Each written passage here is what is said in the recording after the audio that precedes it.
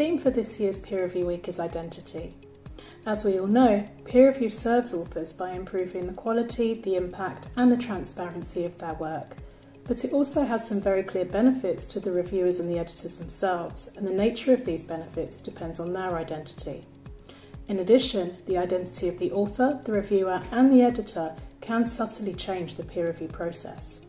At Communications Biology, we reached out to some of our excellent reviewers and editorial board members to hear their thoughts about this. Here's what they had to say.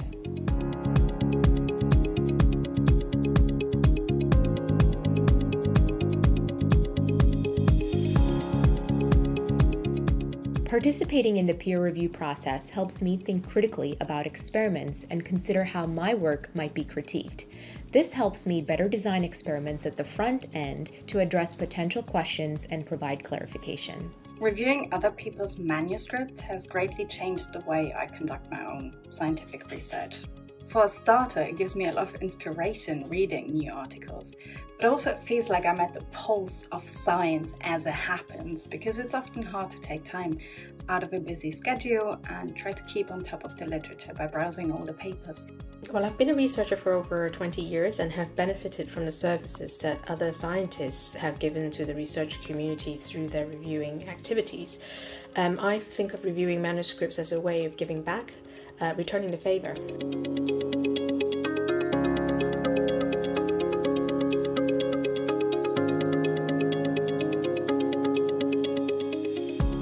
The double blind review process, in which authors and reviewers are anonymous to each other, allows a certain level of confidentiality whereby potential bias could be mitigated. It aims for academic objectivity without our innate implicit bias, such as authors' prior publication history, gender, academic status, or country of origin potentially influencing the review process? Uh, I think double blind peer reviewing is leveling the field by decreasing the rather inherent bias of reviewers towards well established groups. The main problem with double blind peer review is that it is really difficult to implement because, at least in certain fields of science, uh, in which there are not so many researchers or there are few active topics of research, everybody tends to know everybody. So it's at some point really easy for uh, a research in one of these fields to know who the authors are.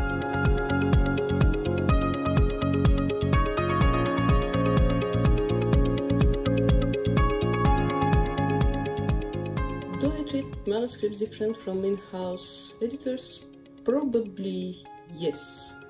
It's difficult not to be influenced by your own submission experience.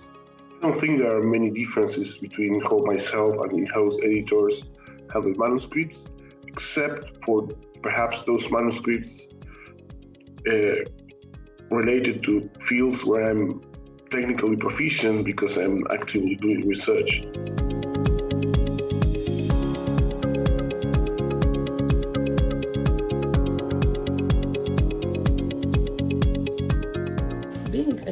Helped me more than I expected to begin with, especially because I understood what are the criteria and what are the requirements for a manuscript to progress to being seen by reviewers. As someone who's relatively new to being a, an editor, I'm very much enjoying finding out about the other side of the publication story and um, enjoying um, the mental stimulation most from doing the work.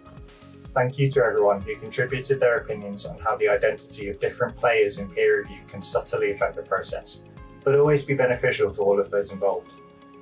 As ever, Communications Biology would like to thank its authors, reviewers, and external editors for continuing to ensure that the quality of science remains high.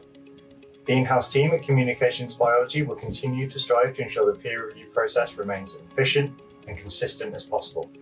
We look forward to reading your papers in future. Thank you.